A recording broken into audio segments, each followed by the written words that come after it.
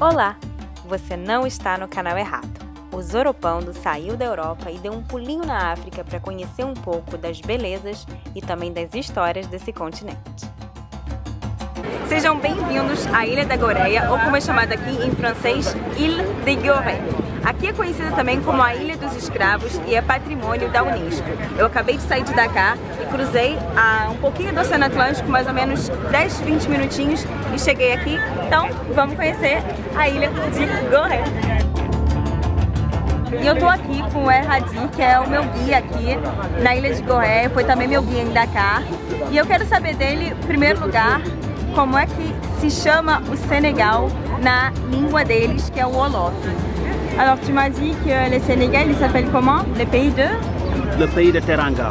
Ça veut dire? Le Teranga, cela veut dire que hospitalité quoi. Donc nous sommes des, des gens qui accueillent les gens, donc nous sommes très très très chaleureux. C'est pour cela qu'on nous appelle le pays de Teranga. Soyez bienvenus au Sénégal. Assim que a gente chega na ilha, a gente vê uma placa em homenagem ao Nelson Mandela, que foi o primeiro presidente negro da África do Sul e figura importantíssima contra o apartheid nesse país. Mandela é símbolo da luta contra o racismo não só na África do Sul, mas no mundo inteiro.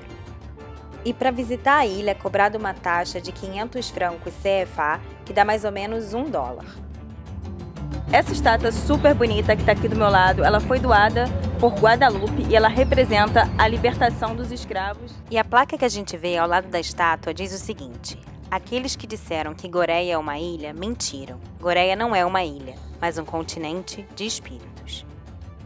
Durante três séculos, a ilha abrigou milhares e milhares de escravos que eram enviados para as Américas. Sua posição estratégica entre o norte e o sul atraiu diversos colonizadores que se instalaram nos 28 hectares da ilha.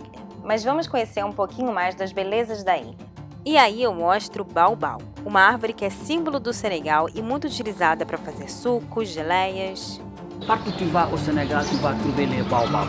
Maintenant, les fruits des baobabs, on les appelle les pains de chêne. Donc, on fait des, des, des, des jus de buis pour boire. Donc, le baobab, c'est y a des baobabs qui durent mille ans. E agora eu queria mostrar para vocês um pouquinho desse tipo de arte feita em várias partes do país. Os materiais utilizados são areia e cola.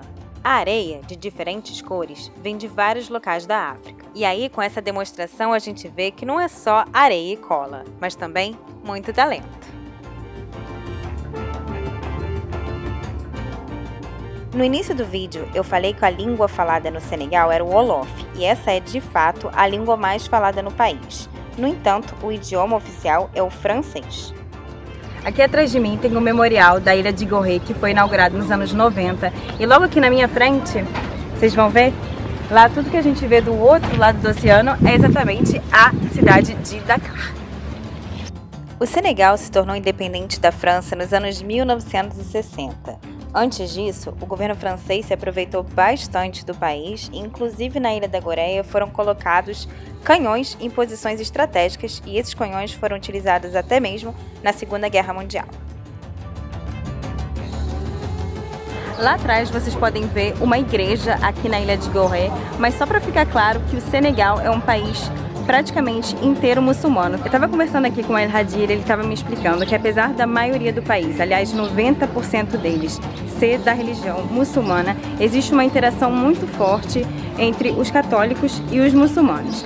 Aliás, parece que o Islã praticado aqui ele é bem mais flexível, a gente não vê muitas mulheres cobertas. O El Hadid estava me explicando que inclusive alguns muçulmanos bebem. Então é bem legal de ver essa essa interação entre as diferentes religiões aqui no Senegal. Eu espero que dê para vocês verem daí como a ilha é linda.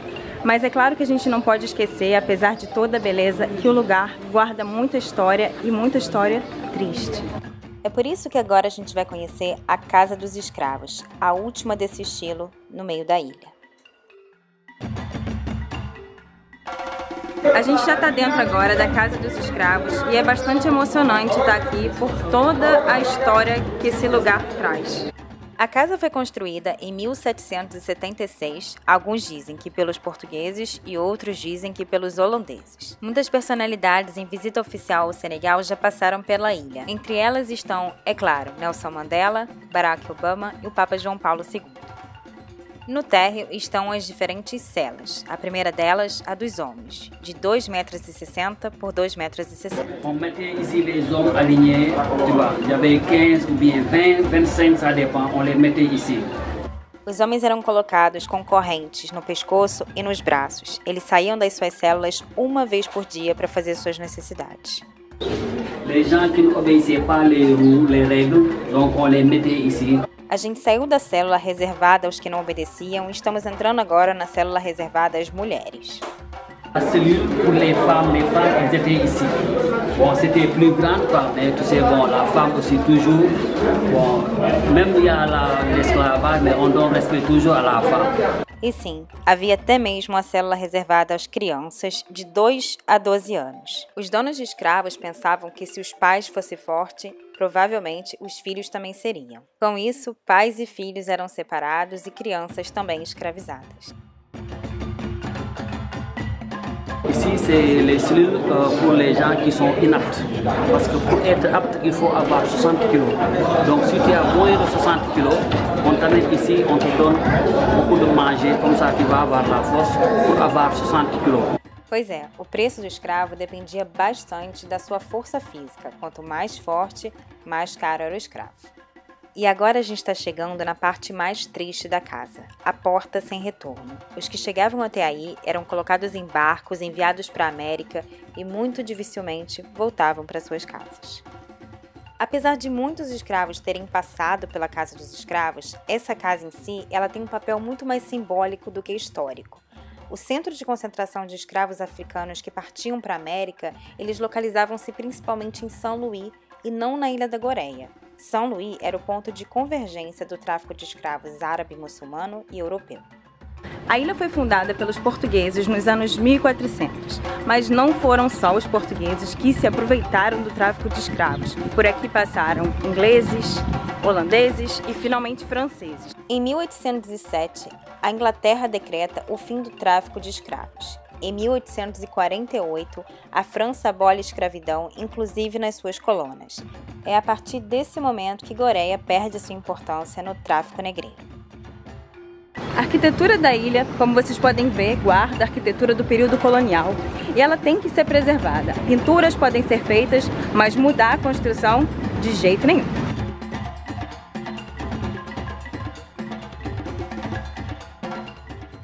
Do outro lado da ilha a gente vê essa construção meio avermelhada que é o Museu Histórico da África. Construído em uma antiga prisão, o museu conta a história da escravidão no mundo, mas principalmente da escravidão na ilha de Goreia. Atualmente, a ilha é um polo turístico, não apenas para relembrar a história triste vivida ali, mas também para comemorar a libertação. Bom, como vocês puderam ver, eu entrei dentro do museu, estou aqui lá de trás a gente consegue ver um pouco do mar e das crianças aproveitando. Aliás, é muito legal isso aqui na ilha, porque apesar de toda a história complicada que esse lugar viveu, os senegaleses conseguiram transformar em um lugar de convívio, de alegria. E é exatamente com essas imagens de alegria que eu me despeço de vocês. Espero que vocês tenham gostado de conhecer um pouquinho aqui do Senegal, em especial da ilha de Goreia. Então, a gente se vê no próximo vídeo. Não se esqueça de se inscrever no canal e de favoritar, tá bom? A gente se vê então no próximo. Tchau, tchau! Bon, merci les amis, soyez les bienvenus au Sénégal. Je me présente, je suis M. Elage Dahaba, je suis un guide international. Donc si vous avez envie de venir visiter le Sénégal, n'hésitez pas, contactez-moi sur mon numéro, vous faites 221 77 327 12 44. 221 78 244 82 57.